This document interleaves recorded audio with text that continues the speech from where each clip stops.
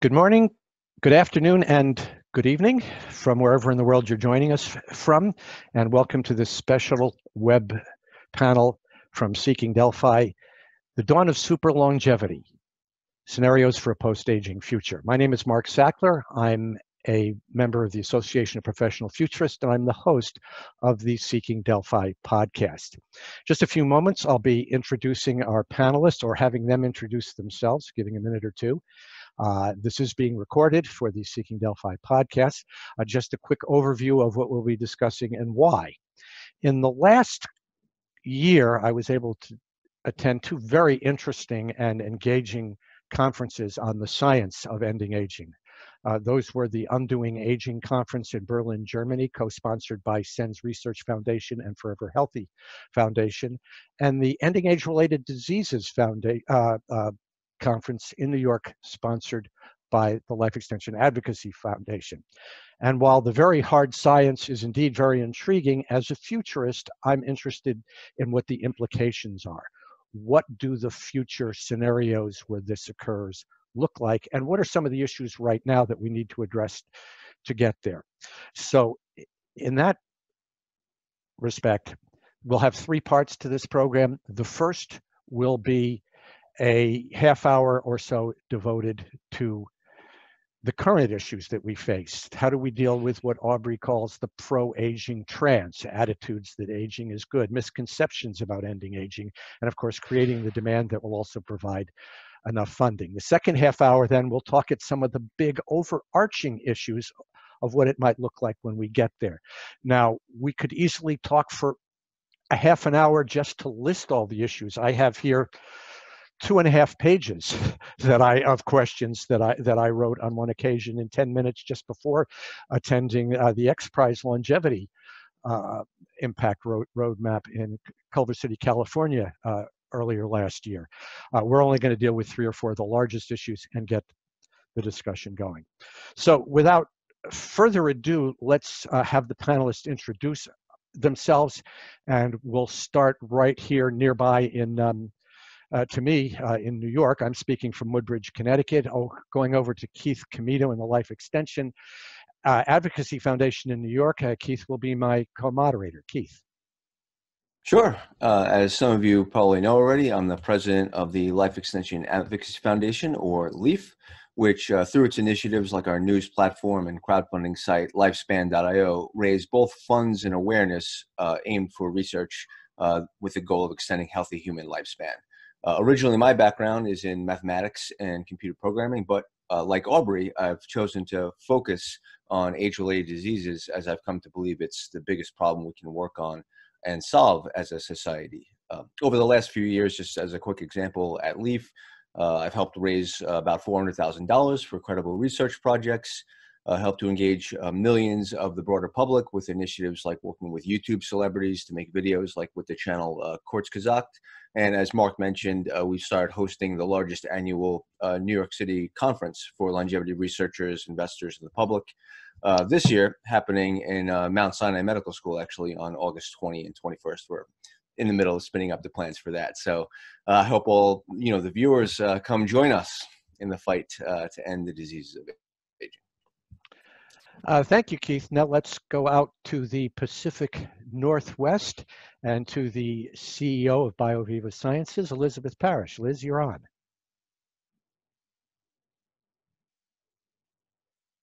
Muted. Sorry. I'm Liz Parrish, and I'm the CEO of BioViva. We're a company committed to uh, treating biological aging with gene therapy. So we do both bioinformatics uh, here in the States we do uh, research and development at Rutgers University. We're developing a new vector delivery method that can deliver multiple genes to each cell at one time. And then we are uh, actually uh, partnered with a company that does medical tourism to get gene therapies uh, to patients now who need them so that we can get the first human data on how these technologies work in humans, which we think is, is the biggest step that we need to make today. Thank you. So um, now let's move uh, down the West Coast a few hundred miles to San Francisco to a person who, um, if you don't mind my saying so, I consider to be both literally and figuratively perhaps the most visible person in the world in the ending aging movement uh, from the SENS Foundation, Aubrey de Grey. Aubrey? Thank you, Mark. Um, yeah, so um, I am, as you say, the Chief Science Officer of SENS Research Foundation. We are based just a few miles south of San Francisco in Mountain View, California, in the middle of Silicon Valley. And um, we are a biomedical research charity, a 501c3, that is spearheading the development of therapies that will bring aging under comprehensive medical control. We've been around for just over 10 years now and um, we perform our own research here in our facility and we also uh, support research elsewhere. So very much like liz has this um, work in rutgers we have a variety of institutes and university labs that we fund. And uh, we're still very small. We have a budget of only about five million dollars per year but our impact is considerably greater than that especially these days because effectively our business model is to take projects through the valley of death, through to the point where they become fundable and where investors start to get interested in um, getting properly involved so that we can spin projects out as startup companies. And so my role personally goes a, a, long way beyond the foundation itself. I spend a lot of my time just, you know, introducing founders to investors and, um, you know, getting out on stage and on camera, of course, and generally, yeah, um, getting the word out. And I'm delighted to be here doing that one more time. Great. And uh, to round out our panel, let's move eight time zones to the east to the London area and author and futurist David Wood. It's my pleasure to be here, uh, joining a great set of uh, thinkers and doers. I run London Futurists, which is a meetup that roughly once a month has a gathering to discuss one or other potential radical scenario that how the world might change, how humanity might change in the next three to 40 years. And we have often discussed in there, sometimes with some of the panelists appearing as speakers, uh, the implications for the future of longevity therapies, the rejuvenation biotechnology that we are poised to develop. My own backgrounds, I spent 25 years in high technology, in the industry that became the smartphone industry. Before that, it was the mobile computing industry. And uh, like Keith, I share an original love for mathematics. That was my first subject. And I also spent four more years studying philosophy of science, which may sound boring and not interesting to our subject, but I believe it's one of the things that's actually very important in today's world. Philosophy of science basically is how do you figure out what's good science and what's fake science, or what used to be called pseudoscience.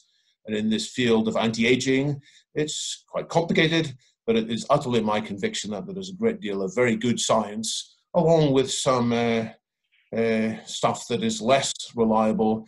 And in order to win this battle for true health, we have to assert what is the true science, and we have to get more people on board. Thank you, David. So, to kick off the first part before I turn it over to Keith to moderate the, the first half hour or so of of issues on the, the present state, I'd like to uh, kick it off with a story, and I apologize to you who have heard this before you uh, because I told it at the uh, X Prize Longevity Impact Roadmap. But um, I think it, it, it is indicative of some of the roadblocks that we face in getting to uh, super longevity and ending aging. Uh, several years ago, when I was working in a small company that made instrumentation uh, to conduct physical uh, science, uh, uh, uh physical chemistry assays uh, for the pharmaceutical industry, I was in a conversation with one of my coworkers. I talked about to him about my interest in the future and future technology. And when I got on the subject, and this was eight or nine years ago, so it was not nearly as advanced uh, as it was now, but I talked about the possibility of ending aging, and he immediately launched into a diatribe which is quite indicative of uh, what Aubrey calls the pro-aging trance. Well, we don't have the resources. There's too much population. Uh, we have always aged. It's the natural order. Uh, we need old people to die and young people to come on and bring their innovation, blah, blah, blah. Well, I looked him straight in the eye and I said, then why are you wasting your time in the pharmaceutical industry? All he could do to react was go, huh? And I explained thusly 80% of what we do, not just in the pharmaceutical industry, but in healthcare as a whole, is to manage and treat the diseases of aging. But we treat them after the fact. If you believe that aging is good, that means then why are you treating the diseases of aging when in fact what you ought to be doing is treating the underlying cause of the diseases of aging, which is aging itself. And, and that I think kind of in a, in a nutshell sums up uh, what the problem is with the pro-aging trance. And this was somebody who was a, a professional in the healthcare related industry. So, so clearly more and more people are getting on board, but there's still work to do. And with that, I'm going to turn this over to Keith to uh, moderate this uh, first area of discussion. Keith, you're on. Sure. Well, uh, before, uh, as mentioned, before Mark takes us to the future in the later segment, uh, I think we want to spend the first segment here talking about uh, the issues of the present, some of which were uh, raised by uh, the friend in Mark's story. so I think the way to do this is I'm going to start off by asking a few specific questions kind of to each of you and then parlay that into a broader discussion. And then if we have time after that, we can have a few more general questions. But I think we can start with Aubrey. So, um, Aubrey, you've mentioned in the past uh, how you transitioned from your background studying in AI uh, to work on the biology of aging because you realized it was the most important thing. Uh, assuming you still feel that way, uh, how do you make that case now, both to yourself and to others, that this problem is indeed the most important and pressing one to work on amidst the backdrop of you know others such as climate change, income inequality, etc. How does societal aging fit into this broader equation? So, yeah, I mean, well, first of all, to amplify the backdrop that you just described, it wasn't really that I realized in my late 20s or around that time that um, aging was the most important problem.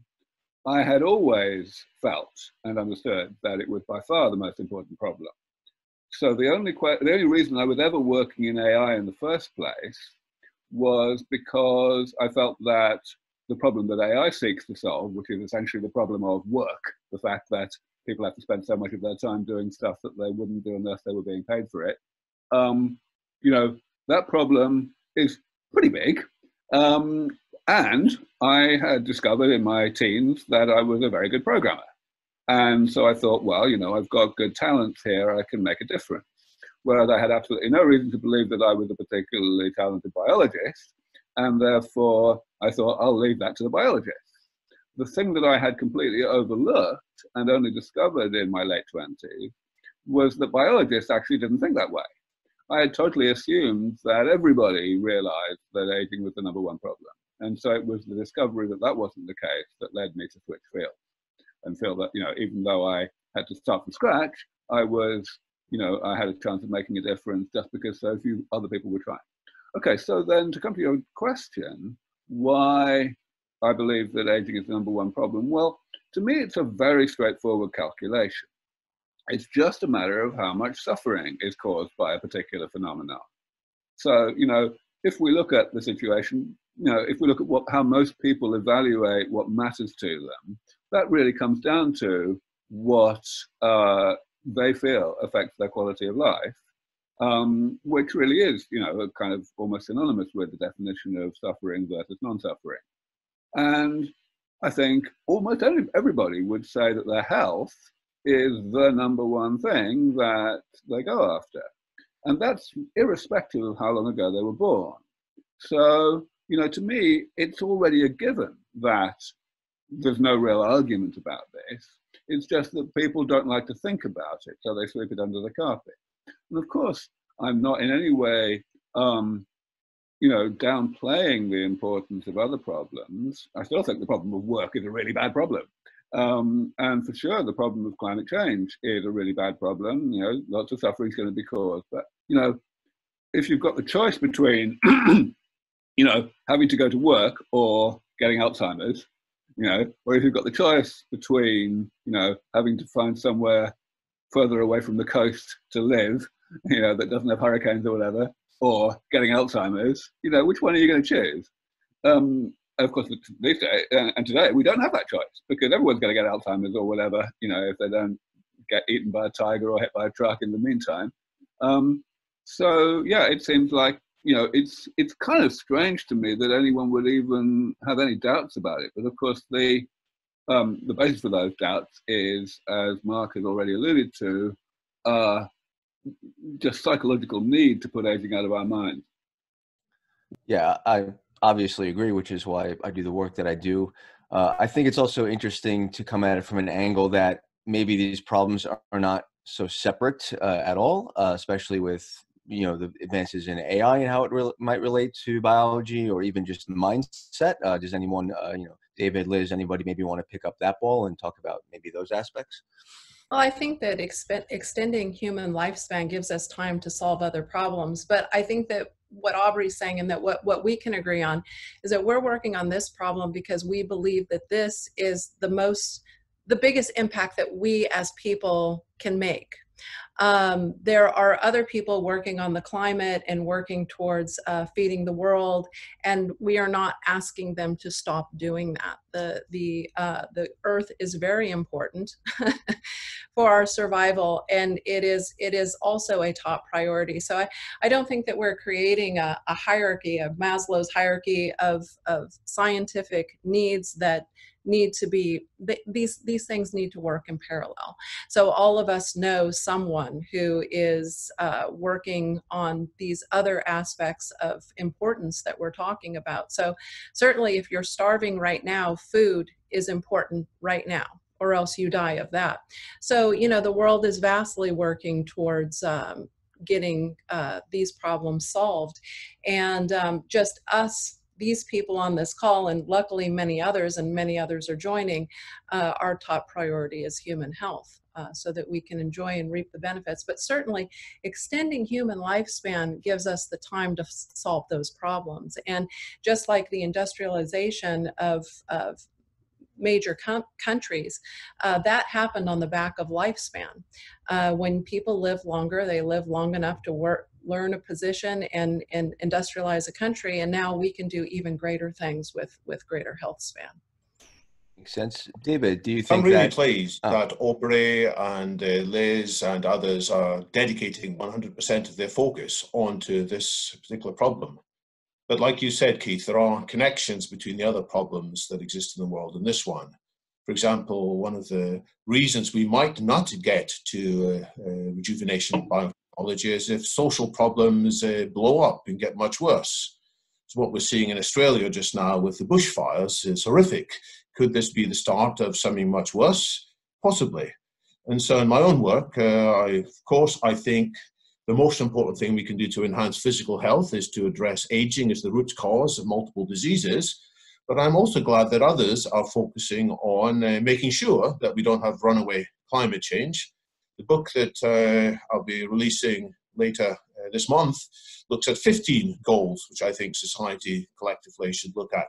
And I'll just mention one more of these. It's not uh, to do with physical health, it's to do with mental health there is a sense in which growing mental health is uh, becoming an absolutely uh, horrendous problem, and more people are dying of suicide and depression than before.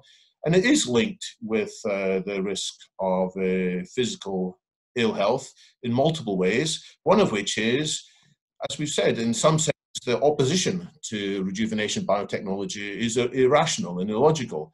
And the more that we see people having mental problems, and I don't just mean the people who identify as having mental problems, but others who seem to be sane, but in fact they've been driven by mad forces and you know demons of one sort. So I see it as very important that we improve mental resilience, emotional uh, maturity generally.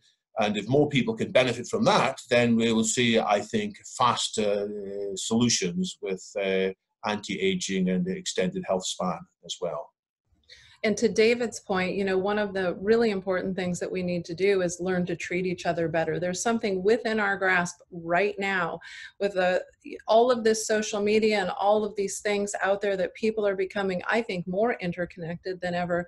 You know, people have the ability to impact other people's lives mentally in a much stronger way. And I'm really not surprised, you know, whether people feel shamed or disputed or um, you know not validated in the world because of, of how they view social med- media and their interactions we really have to as a species learn to get along put forward that good feeling put forward you know the peace and will that we're we're here to help each other that we are not combating that we are not um, in some race to prove something before someone else. It, it's it's absolutely essential and in almost every talk I, I talk about that that's something within our reach now. Just put your best self forward. You have to flex that muscle of caring and embracing uh, our species if you want it to live a long time embrace it have compassion for it I uh, 100% agree with that. And to piggyback a bit off of what uh, David was saying too, is that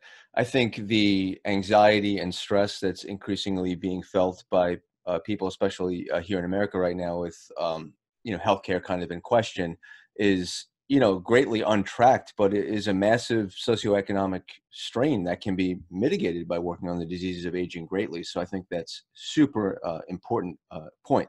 But I want to pivot to our next question and this one will start off uh, by being directed to Liz.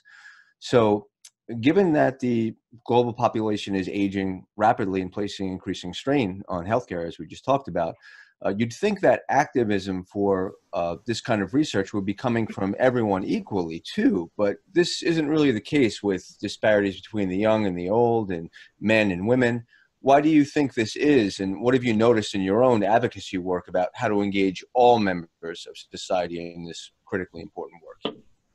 Well, there's really some interesting data here. So 2020, this is the first year that people over the age of 65 well, there's more of them than people under the age of five, and that's on the entire planet. So, uh, when we look at that in many countries, that that already happened uh, quite a while ago, but we have less payers into the system than ever before, and vastly they're coming from from countries that are not the industrialized countries. And so, this creates the the really first big pressure of what's going to happen in the next 20 years as the people under five start to you know at, go towards the workforce and are not able to pay for the aging population.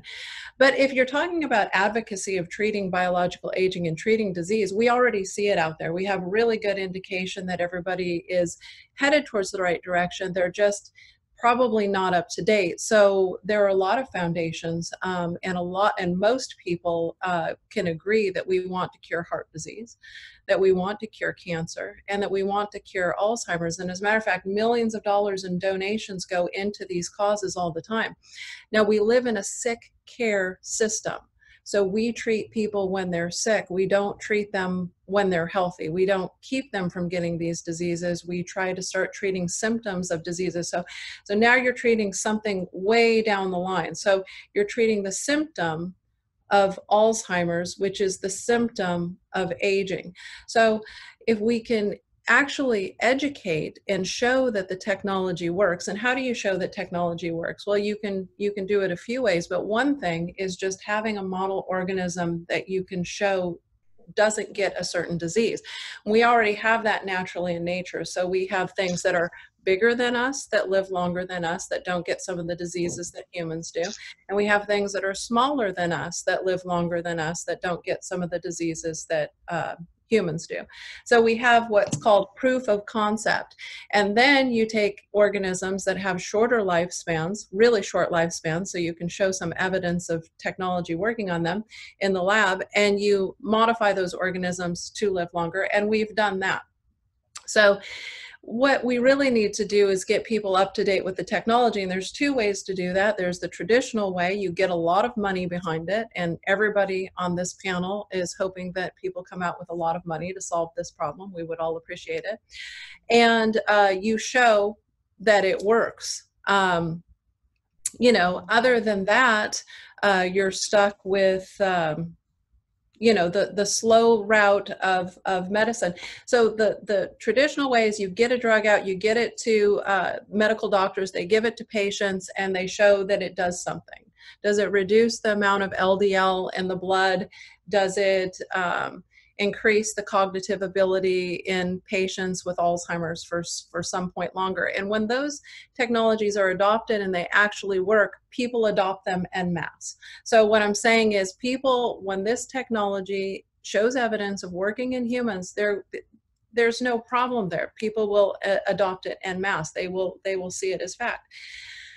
The other way is to get people encouraged and what we have to do now in order to get the technology funded. And so you have to show in baby steps what can we do. So in humans, can we move biomarkers that would be more similar to biomarkers of, of an organism that was in a more youthful state that had a projection of a percentage uh, greater uh, lifespan uh, compared to a similar aged uh, organism of the same species. So, you know, right now we're in the early stages of the technology the proving that it works. So we can go we already know that the, the world vastly agrees that these diseases need to be cured. If we can show some evidence that we can do that i believe that that will break the bottleneck open and that this technology uh, will be soaring uh, not only funded but widely adopted. I've spoken um, at multiple religious uh, group meetings. I have spoken all over the world. I've met with a couple presidents. I have, everybody likes the idea of this technology. They would like to see it work. Makes sense to me. I think implicit in what some of your, what you're saying is, is I think it will map these sort of successes will sort of apply to everyone i think. Like you said if there's a successful proof of proof of concept that's convincing and persuading to almost everyone what maybe i'd like some of the other panelists to to dive into if you have any personal experience with it is that being said uh, data does show that there's some disparities. Let's take men versus women for example. Even though women are are typically i think like 80% the primary uh, healthcare decision makers in an american family um, unless the question is framed in a spe- very specific way, um, there's less support for significant life extension amongst women than there is men. Does anyone have anything to say about uh, their thoughts on encountering that, on on deal, you know, addressing that, that sort of thing? Maybe David. Oh, well, actually, let me step in for a second. Um, so, yeah, I, I, have certainly come across that, and I think we all can see it statistically. I have not yet really convinced myself that there's any more to it than the simple disparity between men and women with regard to education and technical matter, you know, in uh, IT and, and the hard sciences. I have never seen any attempt to, you know, factor that out and ask whether if you stratify for that kind of education, that kind of background, you still see this disparity between the sexes. That's a good point. Yeah, I know there's been some studies. It might oh. uh, it, it, might hinge on how the question is posed, and that uh, women are very interested in health. They may not be so interested in a longer lifespan, but uh, highlighting the way that more people can become, for example, super agers and uh, live long lives without having the diseases of uh, chronic diseases. I, I, believe that's something that uh, people from all sexes will be equally interested in. And so it's a matter of finding the right uh, story, the right communication, the right message to appeal to whichever set of goals are in different people's minds. Yeah. yeah. For instance, if you ask people, uh, would you like to take an experimental technology that may extend your lifespan? Uh, many people across the board uh, would be uh, concerned about that unless they're in an end stage condition. But if you ask people if they would like to live a longer health span, um, I've never had anyone say no to that. And for uh, for the record, as far as BioViva and our partner companies, uh, we actually probably have more women interested in extending healthy lifespan than men, and that might be because I'm a female CEO of a company, and that might appeal to women. Uh, but certainly, as far as pioneering technology in, in our partner company, although I know very little uh, about the patients over there, I do know that they are predominantly women and they're not necessarily doing things for aesthetics, they're doing things for health. That makes sense. And I think the data actually bears that out in I believe YouGov and um, the Pew Research Center have did a couple of polls related to this. And when the framing is more like what you just said, the differences between men and women start to disappear. So I think it's just an interesting note about you know framing really matters here. And I think that that's a good way to parlay it into the next question, which will be for David. Uh, in your book, The uh, Abolition of Aging, you review the factors that are holding back the public discussion of why to bring aging under medical control. Medical control. Among mm-hmm. other factors, you name the paralyzing effect of becoming aware of one's own mortality. Yet, as we've seen in the last couple of years, the uh, pro longevity community is beginning to exponentiate and grow, which means that in some way, um, people are finding a way to cope with this unpleasant truth. What do you think is contributing to this? And are we at the turning of the tide here? Well, we're seeing some growth in the healthy longevity community, which is encouraging, but it's only uh, very uh, early days as to what really is possible, in my view. The paralyzing effect that you refer to is the same as we've already been discussing that people don't like to think about death. It's a very frightening effect. This has got a name, it's the terror management theory, which was developed by a number of psychologists, did a whole bunch of uh, detailed research that shows that uh, when terrifying thoughts are being approached, people on the whole don't want to think about it, and they may make it may make them more irrational. But it's my observation that uh, people are usually a mix of two instincts in this. One instinct is, yeah, they would like health, of course. And the other instinct is no, they wouldn't like to appear selfish and to take more than their fair share of society's opportunities. So there are the two sort of forces coexisting. And we just need to find a way to strengthen the force that would like more health and to diminish the force that uh, would uh, irrationally oppose this. And part of it is what Liz has already mentioned, which is that people will be more likely to join a movement, a cause, a community, if they see people in that community who are, in some sense, like them. You know, the initial phase of building a, a movement often involves so-called early adopters or technology enthusiasts who don't care much what others think. They just make up their own minds that this is cool, this is correct.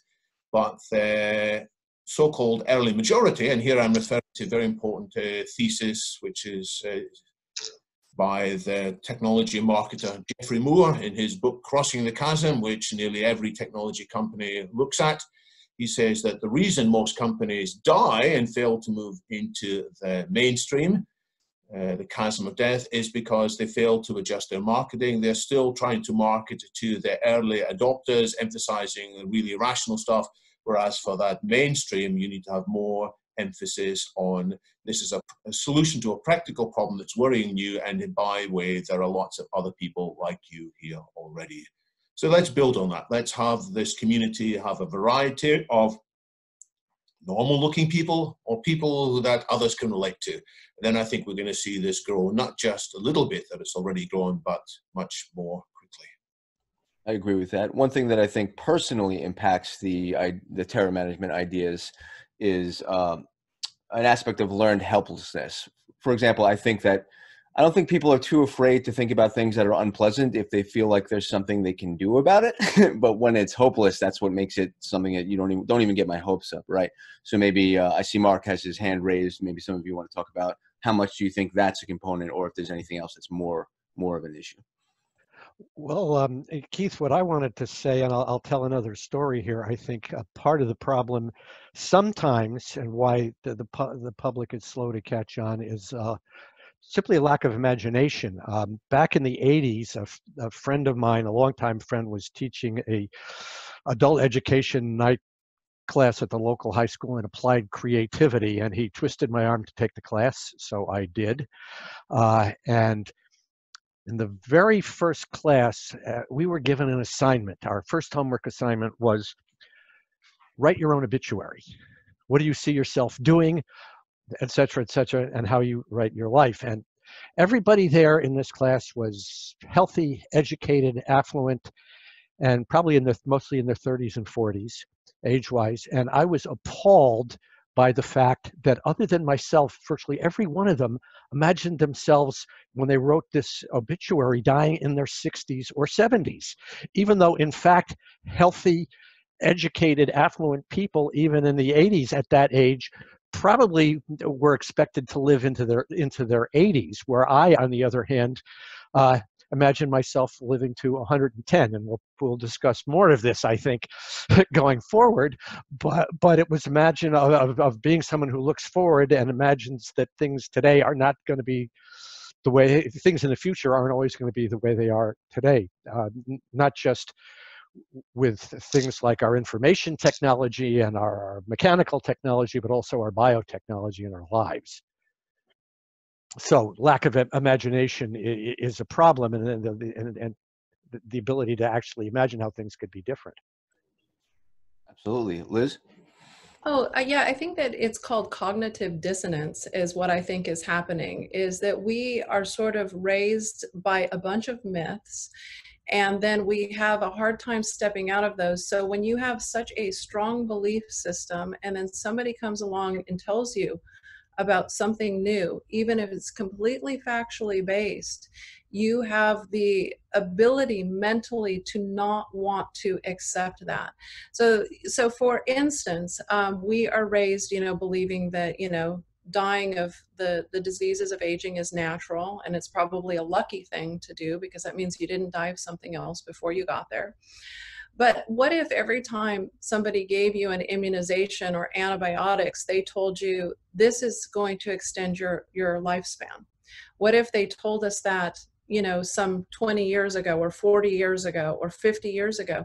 People might have had a much more difficult time handling the, the consequence of, oh, you mean that I am not going to die of what would be inherently natural causes anymore if I take this type of technology. And it's something that we really have failed to educate the public on is that they already are enhanced. They are, we're already a transhuman society, not by everybody's definition, but by my mental definition, we have already adopted technology that vastly extends our natural lifespan. I might have died a long time ago, and most of my friends' kids would have never been born as they were, you know, taken out by cesarean, or they may or may not have been, right? So, um, you know, it's that sort of cognitive dissonance of the myths that we have built up and we continue to stack and believe that vastly is holding society back. Myths versus facts.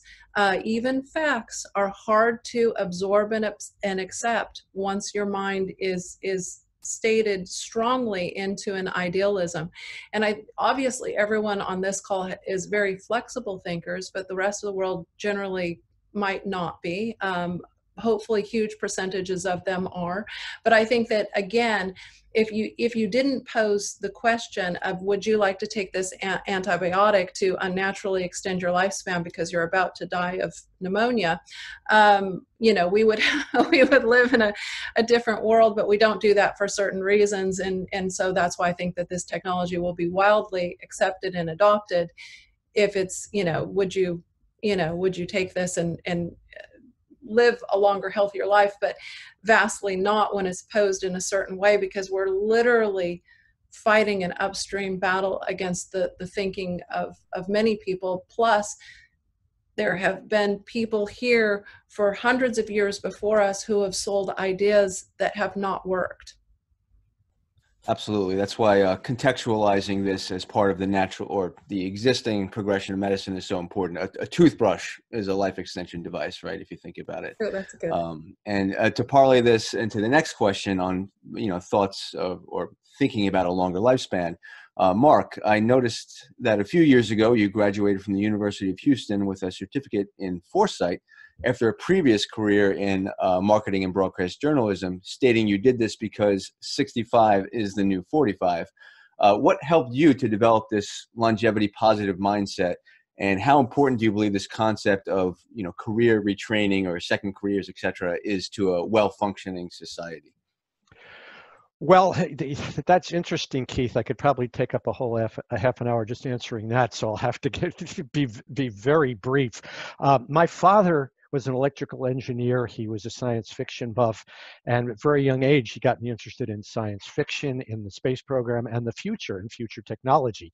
So I've always been thinking about that. But in the 1970s, I was uh, still only in my 20s, I read a book by a, uh, uh, a libertarian firebrand by the name of Jerome Tuccille called Here Comes Immortality. And it was the first time I ever read anything formally suggesting that, that this was possible. And um, it wasn't so much about the science as it was about the, the scenarios uh, that I've been thinking about um, all my lifetime. And um, so I, I, adopted the thinking of a futurist for a very young age, but but never got to addressing the formality of really formally becoming a, a futurist. And when I retired from my uh, you know day job, so to speak, I said, you know, I can't really, I can't really just play golf every day. I need to maintain meaning in my life. You know, retirement kills, so to speak, at least in the current state of things. I needed a meaning, and the meaning for me was to become an advocate for more and better foresight and society. And this is uh, obviously, I'm interested in a lot of issues, uh, not just longevity. This is just one of my prime ones. But this also talks about something that, uh, and this, you know, because we're, we're, we're down to the last minute or two for this subject that will allow us to segue into the next part of this program. And that is what happens to human meaning uh, in an extended uh, extended lifespan. What happens to human meaning and purpose? We expect to live 60 to 100 years, maybe here in the 21st century. And when, when that becomes 120, 150 indefinitely, we might have to find new ways to uh, to sustain meaning in our life. And um, I'm doing that even now because, uh, look, my father lived into his 90s and several uh, other people in, in my family, aunts, uncles, cousins, uh, lived into their 90s. So I'm hoping that I do that, but I'm not going to do that just just playing. Man, the body isn't holding up so well for golf anymore, but fortunately the mind still is. So so that's that's my point, and I don't know if anybody wants to elaborate on that, or if not, uh, I think uh, we're right about uh, 30 minutes here. We can uh, we can get into the next um, the next section of the program. Well, since we're you know butting up against it, as you said, Mark, uh, I can skip a few of the other questions, but I think the, the as a natural segue uh, to the next section, I would like to, you know, directly ask uh, all the panelists here, um, what, how has this impacted your own life? We, you know, as advocates, we talk about a lot of, you know, what we want to see for the world in the future, et cetera. But this work that we're doing, how has it impacted your own life and your own thinking for what you want your future in this world to be? What have you changed personally? And I think that'll be a natural segue, Mark, into your section. Outstanding. I've already gone. Who would like to go next on that? Everyone's being shy. Um, uh, yeah, people ask me a lot about, you know, what do I do to allow myself to live longer and increase my chances of making the cut for the um, therapies that I'm working on. And of course, I'm a bad example because on the one hand, I happen to be just genetically very lucky or whatever. I, I, you know, I've had my biological age measured in various ways many times over the years, and I always come out ridiculously young. I'm the kind of you know, um, ghastly person who actually, you know, I can eat and drink what I like and nothing happens, and I don't even need to exercise to speak of. Uh, but the other thing, of course, is that I have a very, um, you know, high stress lifestyle in the sense of running all over the world all the time, getting lots of cosmic rays.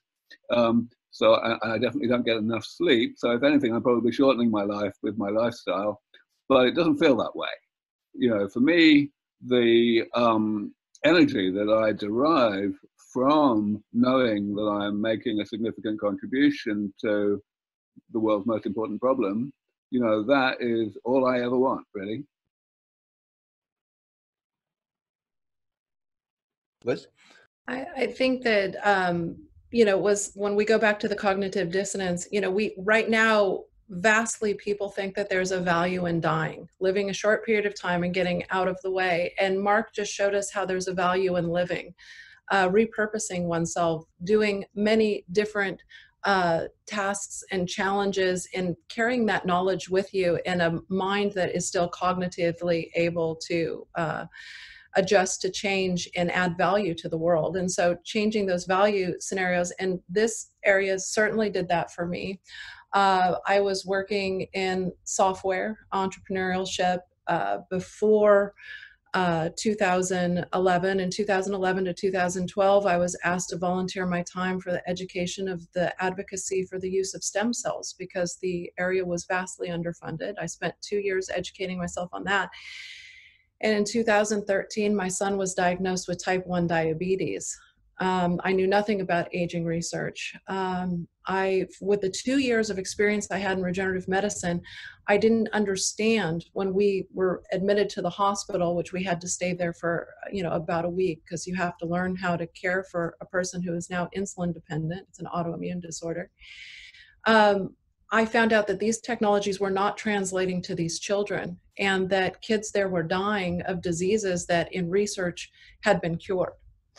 And um, so, I mean, I went looking for for cures for kids, and I actually ran into Aubrey's uh, SENS conference in 2013 in uh, Cambridge, UK, and it revolutionized and changed my life because I realized that the treatments that treat aging treat children, and that we could humanely help a lot of people and expedite cures for kids. So it really changed my purpose in life uh, a 100%. Every day uh, we struggle with my son's disease, and every day I work diligently. It gives me meaning and purpose uh, to reach out to other families who are also struggling and people who need access to technology today you know we're a very risk adverse society. We have a certain way that we think that we need to develop technology for the future but in fact over 100000 people will die today who would have been willing participants in creating a better future. So for me um, this area changed everything and, and you know in 2015 in order to push the technology forward, I took two gene therapies to treat biological aging. Something in early 2013 I would have known nothing about, would have had no interest in whatsoever. Uh, it was actually being touched by seeing my son laying in a bed and realizing without science he would be dead. Um, this has happened to many people with their grandparents, with their parents, with their friends and family. It is a terrible, terrible feeling. And through that, we can find purpose. You know, picture yourself. Picture yourself, you're born in a jar, and your jar has 80 some years of oxygen, depending on how you use that oxygen. Are you going to pick up a hammer and try to shatter that jar? If your child was born with nine years of oxygen, you sure as hell are going to do that, and you should be doing that for yourself and everyone else. And so there's there's a vast amount of purpose here, and there is evidence that we can do this, and not working towards that. We are an intelligent species. This is exactly where we need to be. This is where I find my purpose every day to show my son that I'm doing something to help him and help everyone else in the world at the same time. Absolutely. One thing that I noticed that uh, in what you just said, Liz, is that there was one word that was repeated a lot, which is a through line uh, through what Aubrey said as well, which is purpose. Uh, I think by being involved in this field personally, for me, you know, when you when you awake to the potentials here, um, it really is a clarifier, right? You you really decide that you want to spend your time on things that are not ephemeral, that that things that are going to matter which ironically I think is one of the things that people say should be quote unquote the psychological benefit of having death on your back is like, oh, I need this to tell me that I, I got to do something important. But I think it's important to realize that also the opening of possibility of, of a longer future can give you that same feeling of like, oh, I need I need to do things that matter for the world and see other people as you know repositories of this wealth of wonderful experience that could uh, extend you know far into the future and is to be valued. So I think it could greatly increase uh, a compassionate mindset as well. Um, but I think unless someone really wants something to, uh, to add, other than that, I think Mark, you're you're chomping at the bit to go into the next section. Well, it's just a matter of time, but that really is a good uh, introduction to where we're going to go next, because I think the biggest single question, uh, and it's a question uh, as we as we move forward, as we start to uh, control more our even our own evolution with both extended longevity and transhumanism is how do we maintain meeting. So looking into the, our future scenario questions, I first want to throw out a quote that I have used on my blog from the late uh, Anglo-American writer Susan Ertz, who said, millions long for immortality who don't know what to do with themselves on a rainy Sunday afternoon. Obviously, those of us in this panel don't see it as, as a problem, but we are so engaged. I, I, on one of my other, on my other blog, I bill myself as not the most interesting man in the world, but having the most cluttered mind. I've had so many interests and so many more things that I haven't been interested, haven't had time to get interested in that it would give me. But um, I want to pose a question to David and thinking more in terms of the masses of humanity, perhaps people less economic opportunity, less education opportunity. You're a big advocate of both longevity and transhumanism. So, what do you make of the Susan Ertz quote? How do we maintain meaning and engagement with a life if we live to 150 or 200 or indefinitely? And do you think that other transhuman enhancements beyond longevity can come into play? When I hear people saying that there will be no meaningful meaning in life without death, that if there's immortality, then life somehow becomes a lower caliber, I think that's a very infantile view of uh, humans. It reminds me of the view that used to be said that if people don't believe in God, they're bound to do bad things. You know, we only will be good people if we are somehow terrified to believe in uh, religion. Well, it turns out that lots of people have given up belief in religion and they're quite capable of living a good life uh, with lots of meaning. And I believe it's entirely the same uh, with uh, living a longer life. We don't need a vision of a short term impending death to help us to be meaningful in our lives. If I look at young children, they bounce out of bed early in the morning to get on with whatever excites them, not because they're thinking that in 80 years' time they may be dead, but because for the sake of life itself. However, there is an issue here. The issue is that most uh, science fiction, most Hollywood films that talk about uh, longer lives uh, portray this in a selfish light. They portray it as part of a dystopia. So if I look at the likes of Altered Carbon, the Methuselahs in that science fiction series were uh, described as being really selfish, uh, uh, unfair people. It's the same with films such as Highlander or Death Becomes Us or Elysium and so on. Almost always there is a bad vision there about the future. So it is very much our responsibility, as well as we talk about the science, we have to paint a better picture of what people will do in the longer term. And I can say, well, look at Netflix. You know, Netflix is uh, a great way to spend your Sunday afternoon, even if it's raining. Well, that's only the start. So what I've tried to do, as well as writing the book Abolition of Aging, which you referred to earlier, I've taken the view that I need to uh, flesh out more of a richer story of the future. And so this is sustainable superabundance, a universal transhumanist invitation, which uh, highlights the many ways in which our lives could be richer, not just living longer, but that we will be able to explore arts of all sorts, sports of all sorts, the universe of all sorts, and then highlighting the future journeys of humanity into outer space and into inner space and so I think it's very much uh, a lack of imagination that causes people to say that if life uh, was indefinitely long, it would be meaningless. On the contrary, I believe there is much greater meaning, much greater fulfillment in this uh, transcendent future rather than uh, where we are today with our terrible limits imposed by the biology we have inherited. Well, uh, Amen. As far as the, the lack of uh, imagination, we're certainly in agreement on that, as imagination being very important. Uh, would uh, Aubrey, Liz, or Keith, do you want to add anything to that?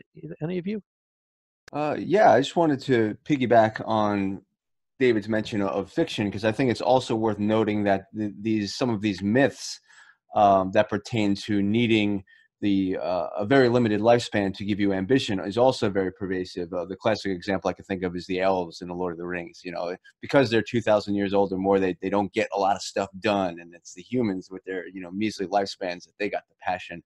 And I, I think for reasons I we talked about earlier that uh, this is this is a myth, and this is my own personal view. But what I think about this is is that the diseases of aging, uh, what they really are are just restrictions. And like any other situation with restrictions, I think what would really happen is if you remove restrictions, people are just more free to become what they already really are. you know, like if you are, really lazy or whatever, if you have all your needs met, then you can be more lazy. If you have tons of ambition and you have your basic needs met, you can now fulfill your uh, ambition immediately and passionately directly instead of slaving for the man for 30 years before you can or not being able to because you're suffering because you're ill. So i think that's that's one way to hopefully dispel those sort of uh, illusions i think. Yeah it was it was not many years ago that somebody pointed out to me the amusing uh, fact that the word that the name aubrey is derived from the name Oberon, who was, of course, the king of the elves in Shakespeare in The Midsummer Night's Dream. Um, uh, so I've always uh, rather chuckled at that. But to come back to the point, I think, yeah, I mean, people often ask me, you know, why would I want to live a long time? Which, of course, first of all, is, um, you know, like, when did you stop beating your wife? Because I don't think about that in the first place. Um, but uh, uh, rather, I mean, even more strongly, I don't even think about what I might do in a hundred years from now. Um, and I think, you know, the idea that the only purpose of all of this is to give oneself a really long time to do other stuff is, is just like, it's one of these fictions that we constantly have to work to dispel in people's minds um, you know, if someone like myself, who uh, you know, I think I've got a respectable chance of living an awfully long time, if my psychology in terms of how I plan is relatively short term, you know, I'm thinking about what I'm going to be doing for the next decade and probably that's about it, then, you know, why should anybody else be thinking that death gives, you know, I, you know, I have yet to find anybody who can really explain to me how the, the statement that death gives meaning to life has any semantic content whatsoever. I, I, I, I agree with everyone. And actually, I mean, we're making some assumptions here. Number one, we're judging our neighbors and shaming them for what they might do with extra time. Um, that's really up to them. Uh, if they really have nothing to do, I imagine they won't be very excited about living, but people still generally choose to live. But with genetic enhancement, which is my area, um, there may be some people may be suffering the consequences of their own biology. So if they don't feel like they can do a great academic pursuit, or if they're suffering from a great deal of obesity and they um, don't feel like they can get physically active, those are genetic limitations potentially on these people, mental illness, uh, schizophrenia uh, OCD. These these uh, problems keep people from being able to live up to their fullest potential and have the desires that might be similar to yours. Uh, but again, having your desires are not necessarily what we should wish on our neighbors. Uh, but with genetic uh, manipulation and enhancement, we will be vastly able to change the state of depression, the state of obesity, the the state of uh, cognitive decline. Uh, and that will be able to open up the potential of the whole public uh, in order to, if they choose to adopt these technologies, in order to live uh, a life that feels more meaningful to them, uh, that feels more in line with what they would like to do. If I had the ability to have a high IQ, I would I would love to have that, and I might be able to uh, adapt myself more to an academic setting. Uh, if I had the ability to have more empathy, I might be able to able to adapt myself to a better advocacy and com- in communication with other people that was more meaningful. If I had uh, sports genes uh, similar to uh, what is already prevalent in sports and even enhanced from there, I might decide to put into in the work to do a triathlon, and uh, those are not bad things. Those are all good things. Uh, so number one, we should, probably shouldn't choose what gives certain people value. But of course, we want to improve everybody's ability to participate in society and solve bigger problems. And I see genetic enhancement as the direct way to do that. Great, all good good answers. Um, I'd like to move on now, and and Liz, the next question is going to start with you. To uh, what I see is um, uh, there are a lot of issues, and I'm only going to uh, deal it on a broad overview and not get into the specific issues in terms of a transition to uh, uh, a super longevity state. And I know it's the fervent hope of everyone on this panel that rejuvenation therapy becomes widely available and affordable to all of humanity, but there are any number of possible and even probable scenarios where, at least at first, that's not the case. And of course, Liz, the regulatory issues of 200 different countries are part of that. You went to Colombia to get therapy that you couldn't have gotten in the US, but there's also, for example, profit motive from venture capitalists who want to move forward and get their return and don't want to wait for a mass cheap proliferation to get returns. And of course, the likelihood, again, at least at first, that there might be those who will forego treatment for religious or philosophical reasons. So I wonder if you've thought about any of these possible scenarios and, and how they might play out. Well, sure. If you look at the five regulated gene therapies in the world, they are a one time treatment to a lifetime cure. That's pretty powerful technology, but they're outside of the uh, cost realm that almost anyone can afford. And so uh, this creates a huge problem. And this is one of the problems that our company is working on right now. So we have a partnership company that does medical tourism, some, uh, very similar to the process that I went through. And if one person takes a gene therapy, yeah, it's cost prohibitive. It's like building a supercomputer for one person. Just getting the gene therapy manufactured takes 16 weeks for one person. But if we were treating 10 people in one week, it would be significantly cheaper for each one of those persons. And if we were treating 100 people a week, right now we have the capacity to treat over 500 people a month, um, we would have technology that then then an average uh, U.S. Uh, person or someone in Europe could afford. And if we are treating a thousand people uh, a month, we're actually getting into the realm of where many many people can afford this technology. So it's a technology that we can scale. Uh, but we don't see that through the regular uh, regulatory system because of the, the vast, huge costs of getting through and people wanting enormous amount of money uh, as repay for putting their money into what is a good idea and good technology. So, uh, you know, we need to vastly change that. We can do that two ways. By scale, we're treating the biggest unmet need on the planet. And by the way, just so everyone realizes that we are still treating childhood disease. Every gene candidate that we look at treats a childhood disease. Uh, but then outside of that, uh, we we have historically only taken private investment. We don't take venture capital. Now, as we spin our uh, research and development from Rutgers out into uh, a subsidiary, it will be probably ravaged by a multitude of sources of uh, funding. So we have to have the mission within the company that, of course, we're looking at treating by scale, uh, biggest unmet needs. So one of the problems with the technology that came out today in gene therapy, they're orphan diseases. There's not large populations, so they look for enormous amount of monies to treat these conditions. Uh, the spinal muscular atrophy just uh, received an approval, and the gene therapy is two to five million dollars, and the the babies die within six weeks. It, it's completely um, it's completely inhumane. We, we can do better than that. And how we do better is we, we treat a disease by scale that actually then creates, once you treat by scale, all of the gene therapies, when you have the manufacturing capacity, all of the gene therapies, even for orphan diseases, become affordable.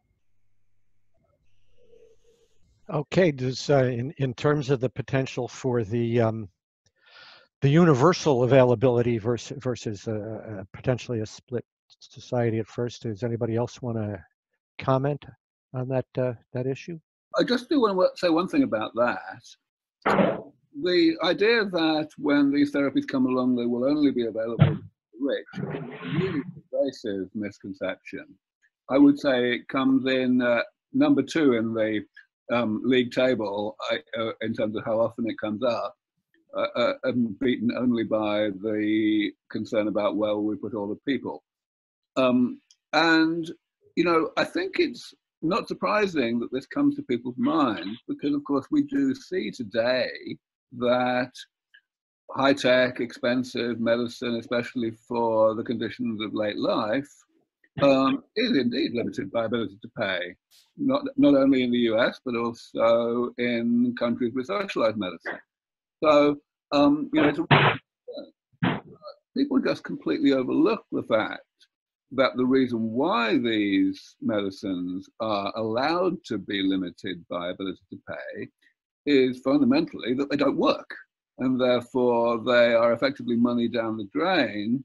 Um, you know, large amounts of money spent just marginally postponing, marginally increasing, if anything, the time that people stay alive in a poor state of health. And that this just, therefore, is a completely inaccurate idea of a precedent for medicine for the elderly that does actually work and that will pay for itself incredibly quickly, incredibly many times over, such that it would be economically suicidal not to make these things available um, in a subsidized manner.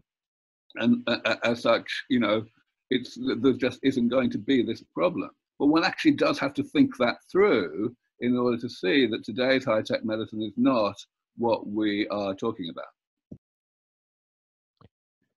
David or uh, Keith, do you want to add anything to that? Uh, yeah, I, I just want to put a fine point on what Aubrey was just saying. Of I think, you know, Liz was also talking about you know how things become cheaper when you do them at scale, and I think this relates to uh, how important it is when we have a discussion about you know at the governmental level, like making a societal decision to allocate resources and prioritize the development of this research and how not just in the health and well-being and mental health of everyone's society how that also pays for itself as aubrey said with financial dividends. Uh, i believe there was a paper in, i want to say 2014 by goldman uh, and others that basically mapped out that in a very conservative view of what these therapies could do like something like you know slowing the onset of alzheimer's heart disease and cancer by 20% or something like that would yield 142 billion dollars per year in i think just american healthcare cost savings so uh, you know and you contrast that with how right now you know there's like a 6 billion budget budget on cancer research and maybe like 200 million dollars that actually goes to the root causes of aging. So when you look at those numbers together it, it just makes no sense. So i think there's a discussion here, maybe for another time, of how we should societally make a decision that it's a no-brainer to do this. so actually, could I come in again for a moment there? Because Keith sure. has reminded me of something that I think we really need to emphasize strongly. So the initiative that Keith mentioned is actually, was actually kind of uh, a later stage of an initiative that began more than a decade ago under the name the Longevity Dividend, um, where um, some of the same people were involved. And uh, indeed, the case was made that even a very modest success in postponing the health problems of late life would have the most astronomical economic benefits. And the impact of that, despite the fact that it was pursued and, and spearheaded by very established, very respected, and credentialed people, was more or less zero.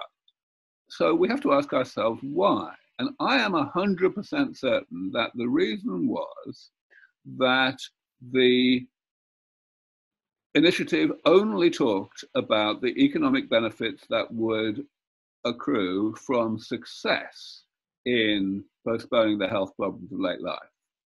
They did not talk about the probability of actually achieving that success with a reasonable investment of funds up front.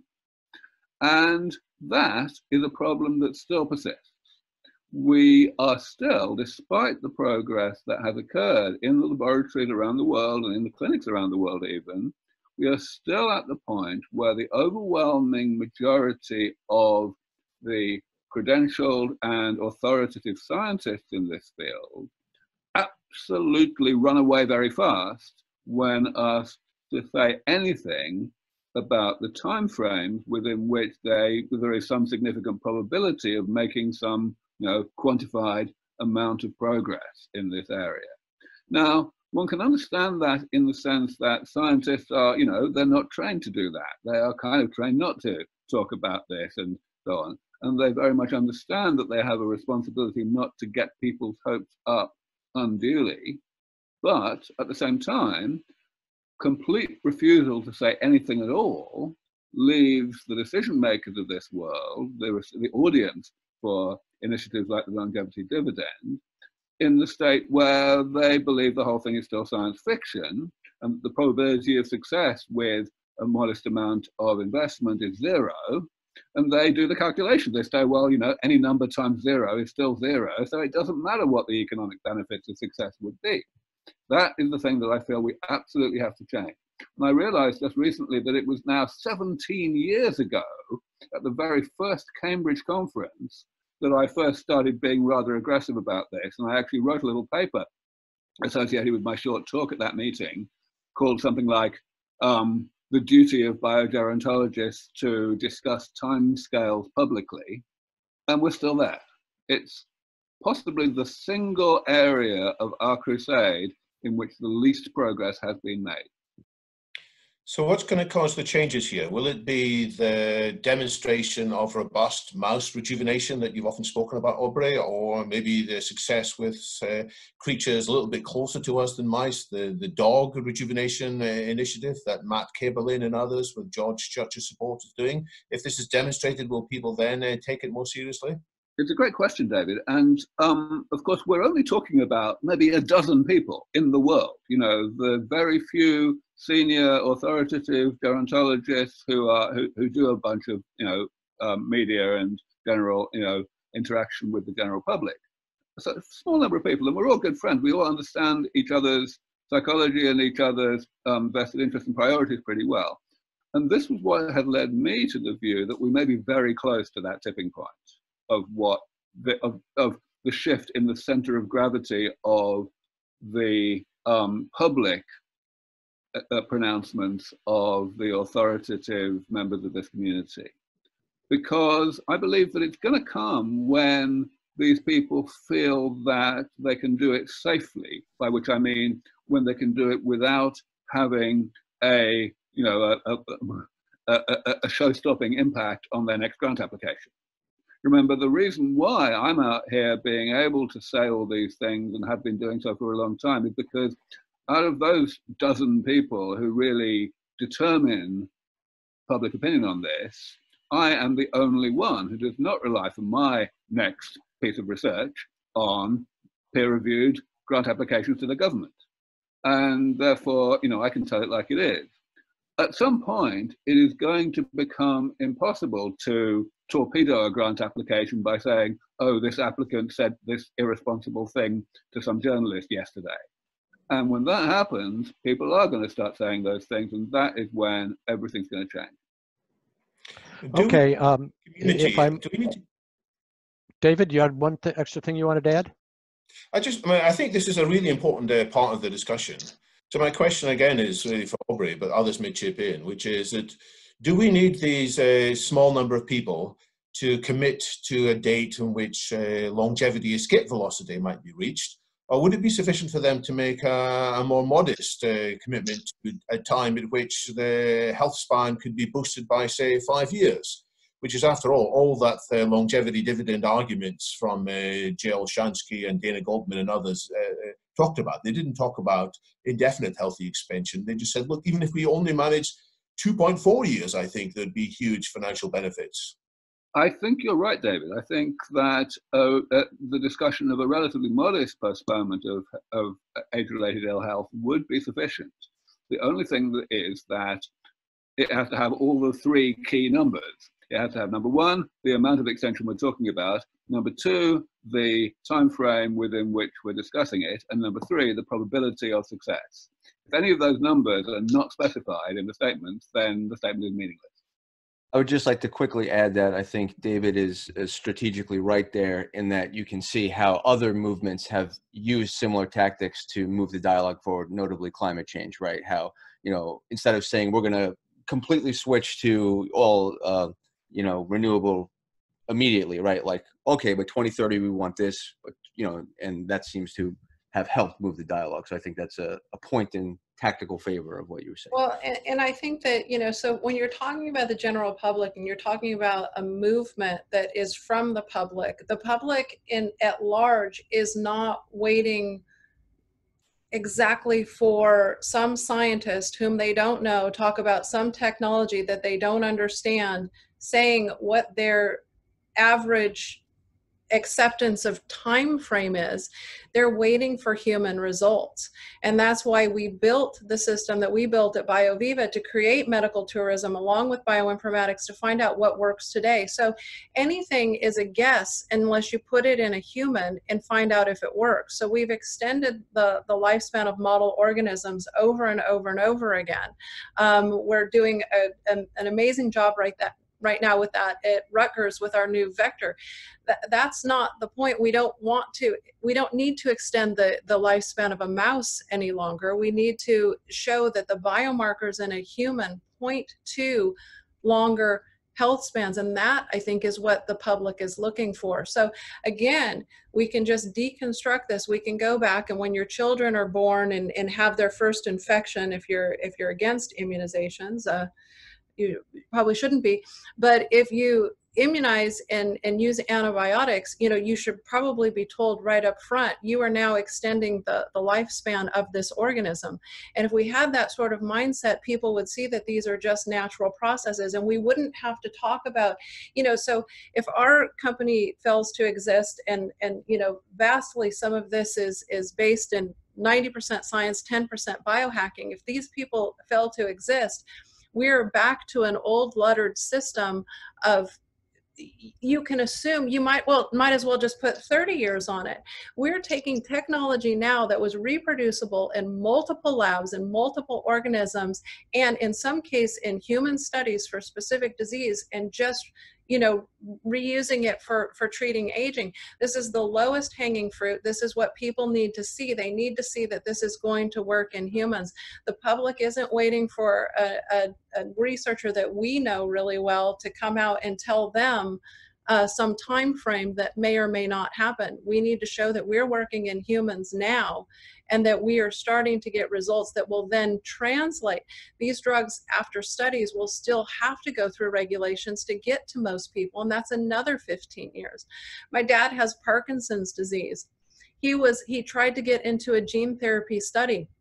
He's 80 years old. The cutoff was 75 because they don't value his life anymore being quality enough. His quality and DALYs don't fit into being able to get a gene therapy to extend his life, which is just what that technology does. If you can affect Parkinson's and help him live five years longer, they think that he's not worth that. Okay, okay. If um, I can um, interrupt here, Liz, because we're running a little short on time. We, yeah, Liz, the, gotta... the, so I, am only cutting in because I have a hard stop in in 12 minutes from now. So there's just one thing I wanted to say. Um, I, I just want to emphasize that I agree pretty much 100% with Liz. There's just one thing that I wanted to amplify about what I previously said that perhaps resolves why I don't think there's any disagreement here, which is absolutely the public do not pay close attention to the detailed pronouncements of scientists. But there is an intermediary here, the small number of really high profile opinion formers, the Oprah Winfreys of this world these people got where they are because they or their staff do pay close attention to the pronouncements of experts. And we sure as hell know that the general public pays attention to that. So, yes, I absolutely believe that this is kind of a two step um, advocacy process, but I still believe that those steps are very established and therefore that subtle differences in the public pronouncements of the small number of experts I was talking about will have the impact very, rapidly that I was describing earlier. Yes, I agree that they're a very important part of, of changing mindsets. And actually, you know, getting the government to to back initiatives like aging as a disease and treating biological aging and more funding. I'm just saying if you're looking for opening the floodgates to the technology it's the use of the technology and it actually working which is what we have to prove uh, that that makes those time frames small enough that people will see them. If somebody says five years well how's how is that going to happen if we haven't used it in a human yet? You know not going to happen we gotta we gotta expedite those results Okay, um, because we're running short on time and there's people that want to, I'm going to forego uh, further questions at least uh, so we can get some questions in before Aubrey leaves. And I know Nicholas is um, looking to uh, to ask a question. He's been uh, chomping at the bit. So uh, uh, Nicholas, I'm going to um, unmute you and um, oh, I see you're good. Go ahead and ask your question. Okay, uh, can you hear me? Yes. Okay. Uh, well, uh, we heard a lot of times uh, Aubrey saying that uh, uh, in like three or five years from now, there could be a change in society in realizing that it's just a matter of time to the rejuvenation therapies arrives. And uh, at the same time, uh, I uh, remember in, in, the book Ending Aging uh, already says that uh, after uh, clinical trials, phase two, phase two clinical trials, the rejuvenation therapies or in, in, fact any kind of medicine could be allowed to the public to use. Uh, so we have uh, in next June uh, the phase two uh, clinical trial results uh, of Fisetin uh, in the Mayo Clinic. and they are testing uh, senolytics and it's a respected institution. So maybe we have an incredible chance in next June to um, to accelerate uh, the arriving of this new mood in uh, uh, global public opinion. Uh, so, uh, Fisetin is cheap. cheap uh, is relatively safe because it's a natural product and will be tested in phase two human clinical trials. So, if the results are positive like uh, if uh, the Mayo Clinic uh, test the Fisetin in phase two and discover that it really rejuvenates people at least a little, at least a little.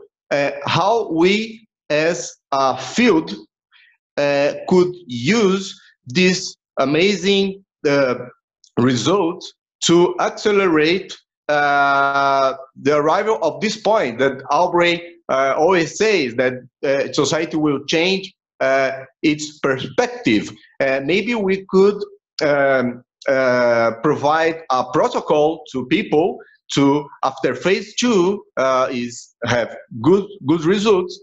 we could have a protocol to everybody use Fisetin correctly, or we could organize a phase three human trial uh, uh, with crowdfunding. I don't know, but how we as a field, I I would like to uh, would like to ask this to Aubrey because uh, we have uh, a short time. But how Aubrey, uh, you think we could use the Mayo Clinic result if they are positive regarding Fisetin to accelerate uh, the arrival of this new mood?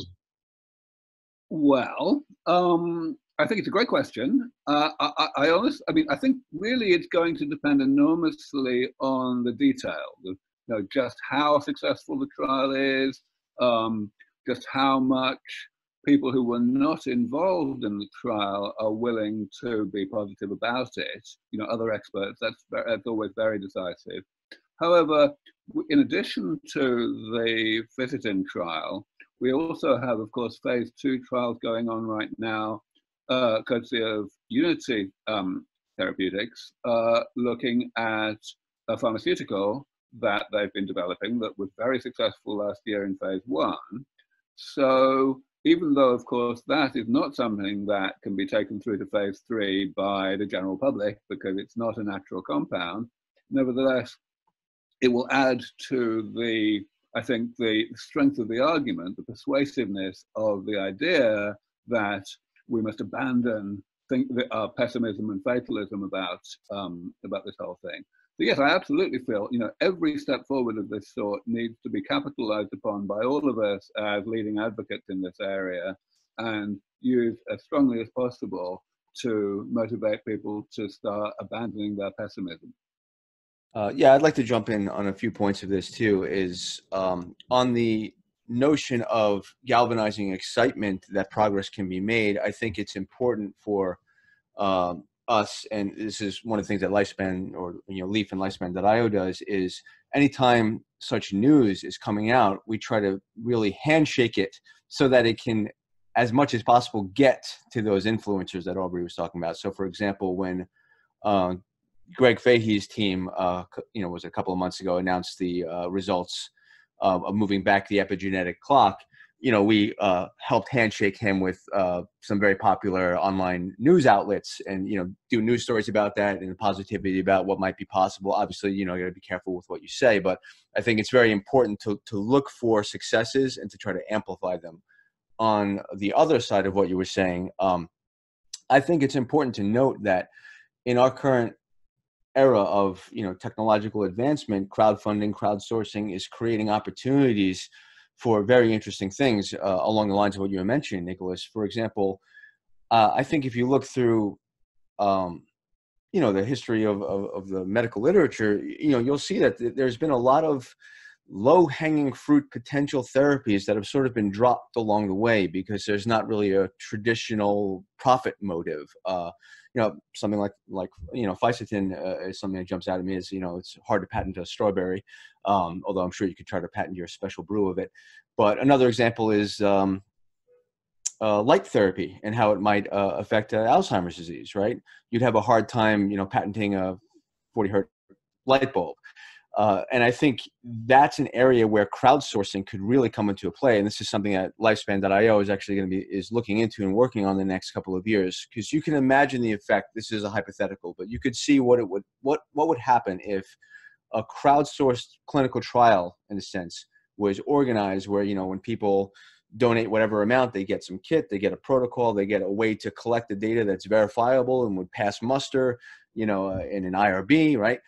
Like what a what kind of shock waves would it send if through a crowdsourced trial remediation of alzheimer's disease was shown with something like light light therapy? Not only would that be amazing for the thing itself but what a message that would send like you know to the public that we don't have to sit on our hands and wait for the government or wait for private investors to throw tons of money at the latest alzheimer drug that's not working.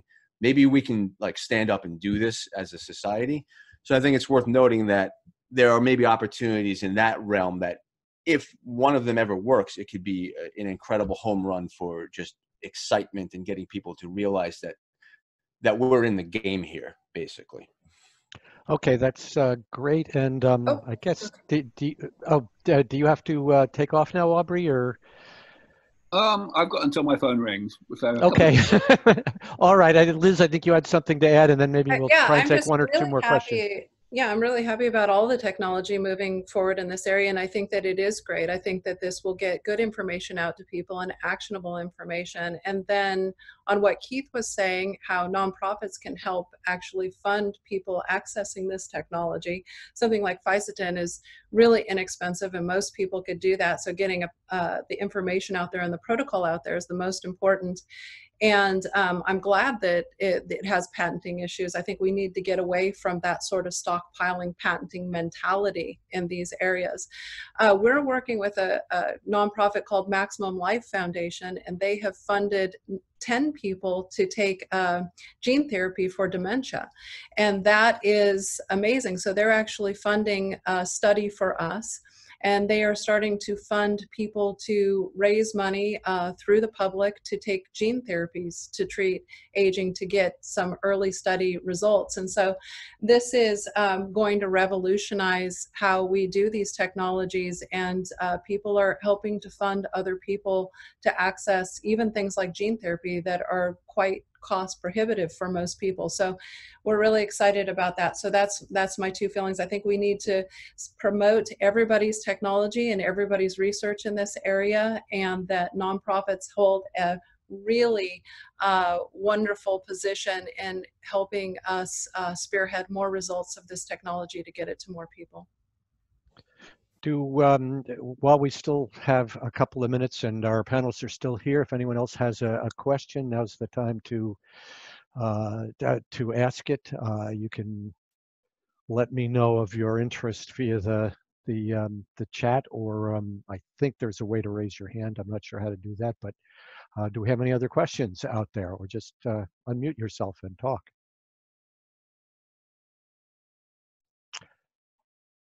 Okay, All right, so if nobody has okay. a question, I would go ahead. Hi guys, hello from Singapore.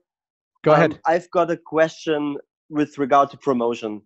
Um, in a way, right now, like most of the scientists that like have a name in the field are like, I would guess between 50 and 60. Sorry to And interrupt, my phone is now calling, my ringing, so I've got to go. Thanks for everything. All Hi, right, thank you, thank you, Aubrey. Thank you for joining us. Go ahead with your question. Um, like most of the scientists with a name are like between 50 and 60. And like earlier, somebody was um, talking about maybe it needs like a moment like the um, regenerative energy moment um, in the longevity space, which is to some extent like really driven by young people. So I was wondering which group should we target right now? Should we like look at like people below 30 who say, okay, well, I want to live until 120 and put this vision in their head? Or should we look at like the people who are like 50, 60 who say, hey, I don't want to age anymore? Um, are there like any thoughts about, um, in a way, which population we should target more than another? Sure. Um, uh, uh, I could start off, and then I'm sure others will have uh, more to comment. Um, obviously, the the best answer is all of the above, right? As far as trying to hit everybody, but one thing that I would say is, I think some. It's important to always keep our ears to the ground for what is animating the public in general, what other issues are animating the public, and how there is a natural synergy, perhaps, to to align with what we're trying to uh, move towards. So I'll give one example, right? In America right now, there's a vigorous debate going on about what the shape of healthcare should be. Uh, you know, uh, should universal healthcare be a thing, right? So I think there's a real opportunity. You know, there's all these movements and people protesting in the streets about it, right? And there's all this energy. So one of the things that I personally kind of do, not really in my official nonprofit capacity, but sort of like through connections that I have and whispering in ears and such, is uh, you know, kind of making the case like say, hey, if if we're, we're talking to someone who is a leader of a movement that is galvanizing a lot of people about universal health care, maybe we want to let them know that, well, because of the gray tsunami and the aging population, if you want government to shoulder the healthcare costs of society in this way, uh, whether we believe in it or not, I actually think it's a good idea, but that's personal. Well, if you want that plan, if to the points Liz was mentioning earlier, if society keeps graying and there are less young people paying into the system to shoulder the costs, you know, Social Security, Medicare, these systems will fall apart, right? So there's a really easy case to make to those movements to say, if you want this to work, this has to be a part of it. We really have to focus on preventative health care. You know, we really have to make not just health care a human right, which is a buzz phrase right now. Health care as a human right. We could just drop the care. Health as a human right, right? So I think there's a lot of opportunities now, and in this case, it happens to be galvanizing the under 30 crowd. But I think that's the the broader point is that we should really keep our eyes open for things that are already happening, that are like people who are on our side, but they just don't know it yet, basically. David? Yeah, so to make this possible, so that when new people suddenly think, oh, maybe this is a thing, maybe it's important uh, that they should get involved. I think it's very important that we have what uh, Leaf has produced and what Forever Healthy has produced, which is reliable, uh, accessible, clear information about the state of play. And there's some of that's, of course, on the SENS website too and other places. So, uh, Max, you were asking who should we uh, reach out to? His answer was everybody, uh, whoever they come, but whoever it is, they're going to need to connect to the community. And so we need better skills at uh, collaborating, enabling, and uh, giving them the information that they want. The other kind of people who are getting involved who weren't previously so much involved is private investors and VCs. Of course, there always has been some of this, but uh, it's been difficult for VCs to really get involved because they've wanted shorter term results. And when we've offered them the possibility of investing, it's been too much of a long shot each individual case and too low a probability. And what's changed in the last couple of years is the growth of uh, portfolios like Juvenescence, So what they do is they say, invest in us, and what we'll do is we'll spread your investment across a range of different options. And although each individually may have just a low probability of being successful, by the time it's aggregated up, then this is a more attractive uh, thing for investors to look at. So this is a way in which it is now possible for investors to be more confident that their investment has more chance overall of being successful. So we need to help people to collaborate with us, and that involves putting systems in place such as lifespan. And I, I like what uh, the Forever Healthy group has, is doing as well. They've just published, I think today, their fourth uh, full report on a potential rejuvenation solution. They look very carefully at all the upsides and downsides and make careful, non-commercially motivated uh, uh recommendations as to if you're this kind of person, this may be good for you. If you're this other kind of person with this metabolism issues, then maybe this isn't good for you. So by providing these systems, we can make it more credible that more people will come on board more quickly and multiply the momentum.